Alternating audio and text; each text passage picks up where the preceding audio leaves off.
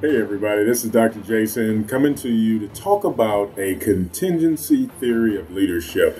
Now, I always want to add value to these video casts. My goal is to make sure we are equipping you and you have some actual arrows for your quiver so you can pull them when you need them. Now, when we talk about contingency theory, we are actually describing a type of leadership that requires a different leader based upon the situation. That doesn't happen. Typically, when you hear about situational leadership theory, the leader has to adapt and, you know, do some things related to the follower's behavior. Contingency theory says that that leader may have to be removed or reassigned for the best possible workaround in that situation.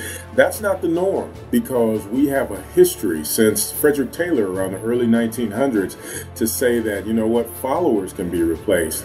But with contingency leadership theory, you're actually moving into a realm where the actual leader may need to be removed or, like I said, take a different assignment for that period of time. Now, the rationale and the application for us is that the ultimate end goal is the most important thing, okay?